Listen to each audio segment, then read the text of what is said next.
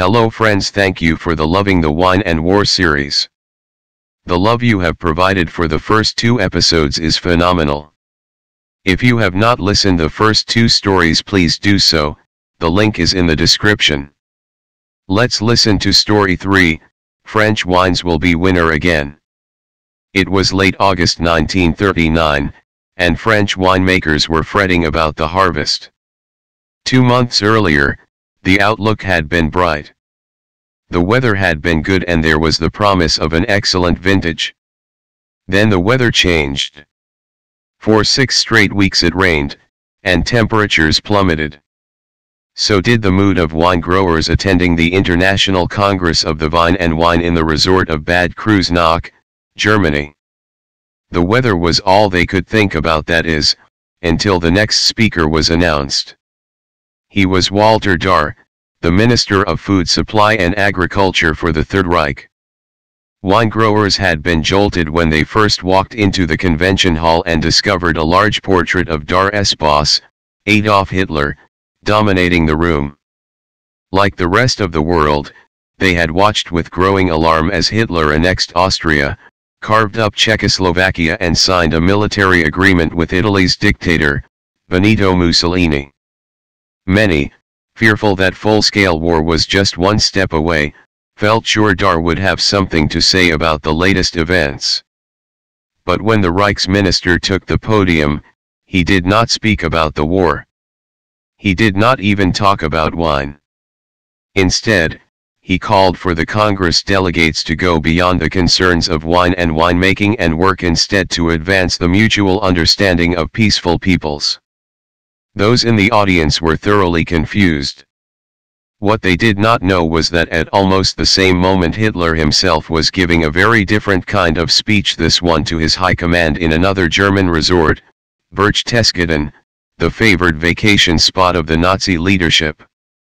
The Führer was telling his generals what was coming next and exhorting them to remember, our opponents are little worms. What matters in beginning and waging war is not righteousness but victory. Close your hearts to pity. Proceed brutally. Within a week, his forces invaded Poland. The date was September 1, 1939. French wine growers at the conference were promptly summoned home. Two days later, France, along with Britain, Australia, and New Zealand, declared war on Germany. For the second time in little more than a generation, French wine growers faced the agonizing prospect of trying to get their harvest in before vineyards were turned into battlefields. As in 1914, the government mounted an extraordinary campaign to help. Wine growers were granted delays in being called to active duty, military labor detachments were sent to the vineyards and farm horses of small growers were not to be requisitioned until the harvest was completed. Memories of that earlier war, the war to end all wars, still haunted them the brutality, the hardships, and especially the staggering loss of life. Out of a population of 40 million, nearly a million and a half young men were killed, men who would have entered their most productive years had they survived. Another million lost limbs or were so badly wounded that they could no longer work.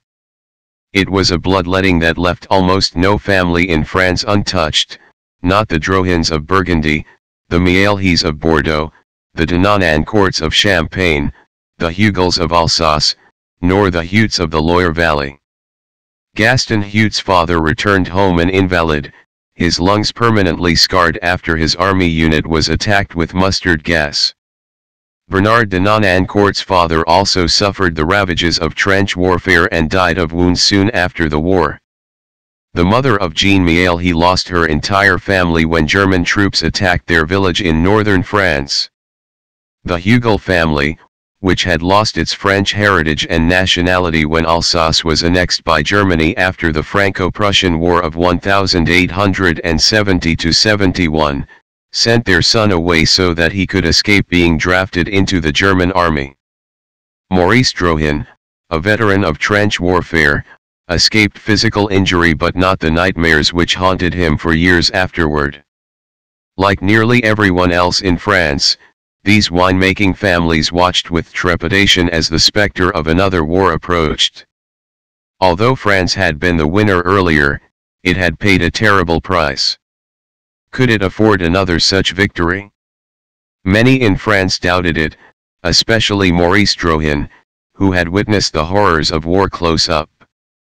Thoughts of his family and vineyard were all that comforted him as he huddled with his men in the muddy blood-soaked trenches of northern France, peering at the enemy across a strip of no man's land. Although the winter of 1915 still had that part of the country in its grip, Maurice knew that back home in Burgundy, the vines already would be stirring and workers would be busy pruning. If he closed his eyes, he could almost picture it, the men with their secateurs working their way slowly down the long rows of vines, and he could almost hear the church bells that called them to work each day. Those bells were the first sounds Maurice heard each morning when he awoke in his home in Beaune. For him, they were the background music to life in the vineyards. They rolled across the villages and wheat fields, they sent children racing to school and mothers scurrying to markets for the freshest produce of the day. They heralded lunchtime, dinner time, and called people to worship, and to celebrate. But as World War I ground on, they were calling more and more people to mourn. Now, on the battlefields of northern France, the sounds that surrounded Maurice were artillery and machine gun fire and the agonized cries of the wounded. In the heat of one battle, he saw a German soldier crumple to the ground, unable to move after being shot. With German troops too frightened to venture into the storm of bullets to retrieve their comrade, Maurice ordered his men to cease firing while he raised a white flag.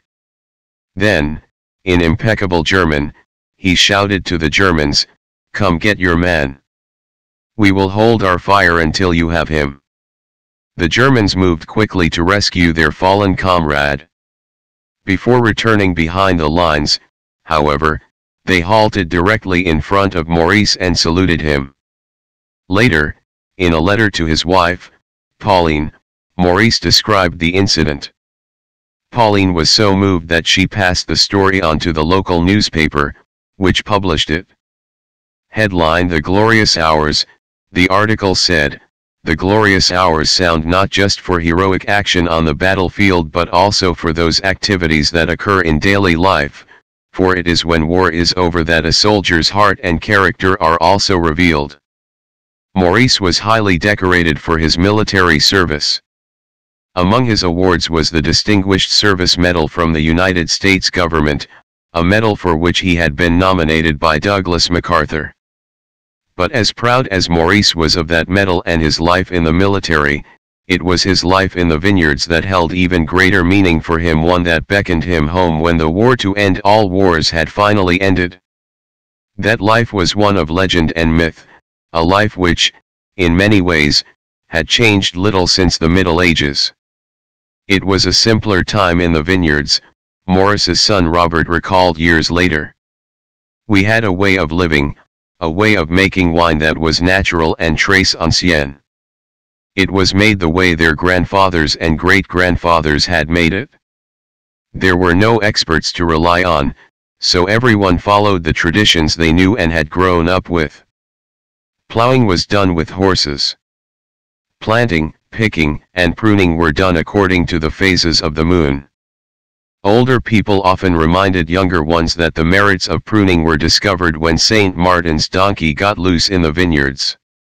It happened, they said, in 345 AD when St. Martin, dressed in animal skins and riding on a donkey, went out to inspect some of the vineyards that belonged to his monastery near Tours in the Loire Valley.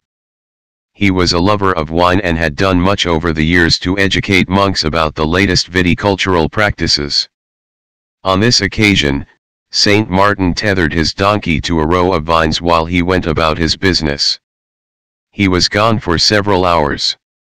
When he returned, he discovered to his horror that his donkey had been munching the vines and that some had been chewed right down to the trunk. Next year, however, the monks were surprised when they saw that those same vines were the very ones which grew back the most abundantly and produced the best grapes. The lesson was not lost on the monks, and as centuries passed, pruning became part of every winegrower's routine. Days began early and lasted until the work was done. There were no fixed hours.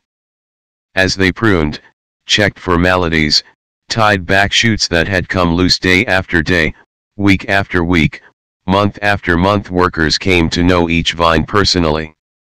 There was an almost mystical connection as they let the vines set the rhythm and pace of life. After picking, grapes were crushed with bare feet.